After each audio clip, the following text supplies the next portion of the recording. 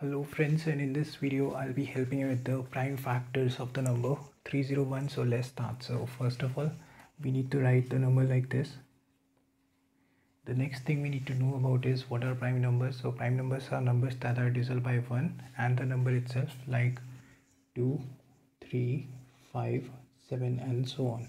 All right so we'll be checking with the lowest prime number we have that is 2 is the number 301 divisible by 2 clearly not because number is odd so we'll be going to the next lowest prime number that is 3 is the number 301 divisible by 3 we need to check. 3 tens are 30 1 left.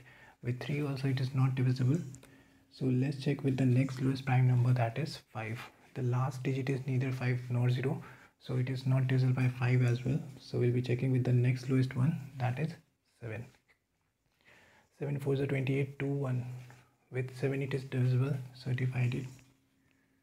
7 4 is 28 2 1 7 3 is 21 we'll be having 43 and 43 is further not divisible by 7 because 43 is also a prime number so it is only divisible by itself.